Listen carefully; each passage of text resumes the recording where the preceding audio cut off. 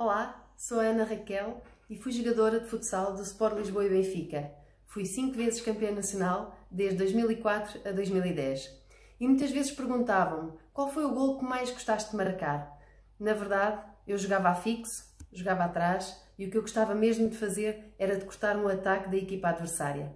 Para marcar golos, tinha jogadoras fantásticas, como a Rita Martins, que ainda hoje trabalha para o clube, a Silvia Valoroso, a Catarina Cancels, Marisa Lima, eram tantas, até aquelas que ainda hoje fazem parte da equipa, como a Inês Fernandes ou a Sara Ferreira, que ainda há bem pouco tempo renovou o contrato e ainda bem.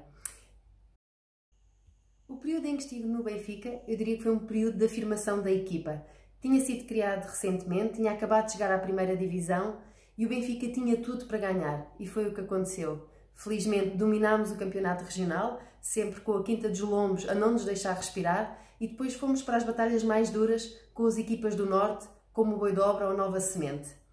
Quando me pedem um dos melhores momentos, é aí que eu tenho mais dificuldade, porque foram muitos, felizmente, foram muitas vitórias, muitas conquistas e tínhamos sempre pré-épocas inesquecíveis. Mas há um momento que eu vou guardar para sempre: a conquista da primeira taça ibérica foi um jogo disputado entre o campeão de Portugal e o campeão de Espanha e nós fizemos a primeira mão em Espanha e perdemos 8-9.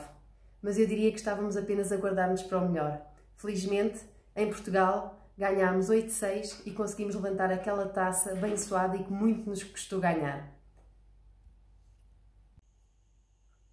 Mas nem tudo foram vitórias e na minha vida, na parte pessoal e de saúde, tive vários desafios. Fiz três rupturas do ligamento cruzado anterior e em todas elas optei por fazer de imediato a operação e a recuperação. Para quem conhece, é uma recuperação lenta, são vários meses de sofrimento para depois poder voltar ao pavilhão. Mas lembro-me perfeitamente do sentimento que tinha depois de cada vitória, depois de cada recuperação. É um sentimento de valeu a pena, valeu mesmo a pena. E por tudo isto, por tudo aquilo que o Benfica é e representa no desporto e no país, eu digo obrigada Benfica e carrega Benfica.